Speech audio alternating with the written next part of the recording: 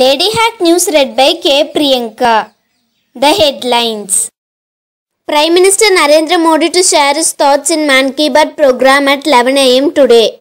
Progress of COVID-19 vaccination drive in the country reviewed by the Prime Minister says pace of testing should not go down. More than 32 crore doses of vaccine administered in the country so far. Madhya Pradesh government lifts Sunday lockdown in the state with immediate effect.